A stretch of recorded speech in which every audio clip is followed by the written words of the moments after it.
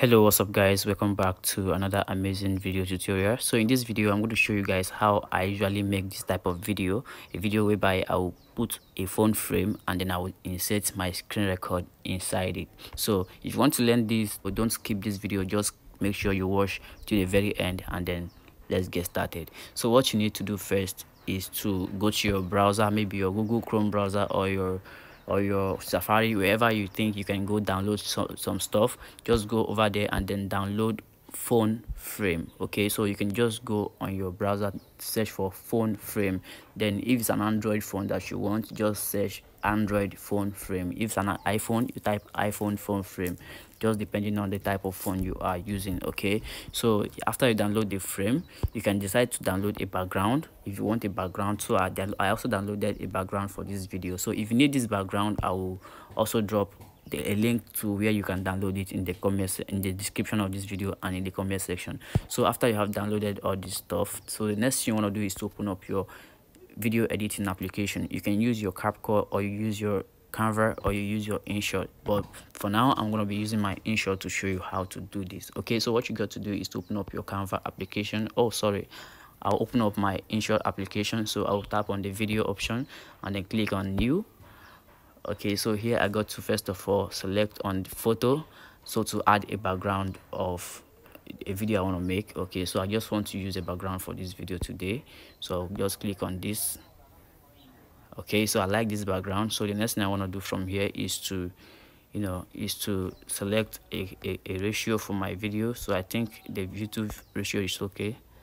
Now I'll tap on the shake button and then that's it. So now I got to drag this video to the length I think my video is gonna be okay let's assume that this video is going to be you know three minutes or four minutes so after you have added the background the next thing you want to do is to tap on pip you can see the pip option here but i think in CapCut, you're going to see overlay. You're going to use the overlay option, but here in Cap, here in InShot, you're going to use PIP. So I'll click on the PIP option and then now I'll tap on the video uh, section and then select on the video. Okay so I would increase the size of the video just like this and then I'll add it. So from here I'll still have to tap on the PIP but on CapCut you go to tap on overlay. So let me click on PIP and then add a PIP and then let me search for my video frame let me say this is my phone frame that i just told you guys to download. So i downloaded mine. This is it. And then i'll drag it.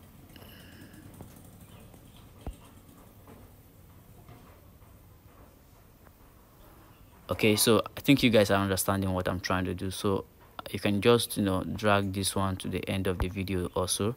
So now you got to leave it and then select the video the main video and then make sure it fits inside the phone frame.